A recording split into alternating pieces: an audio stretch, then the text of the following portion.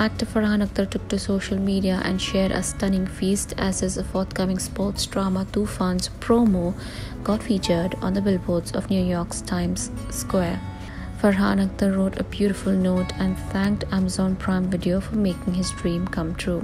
He wrote, I remember the first time I went to Times Square in New York City, looking up at all those billboards and thinking, wouldn't it be cool to have a film represented here?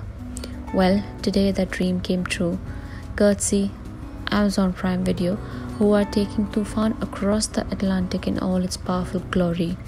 To all my family, friends, and fans in the US, this one is for you. Helmed by Rakeysh Omprakash Mehra, the film also stars Mrunal Thakur and Paresh Rawal in supporting roles.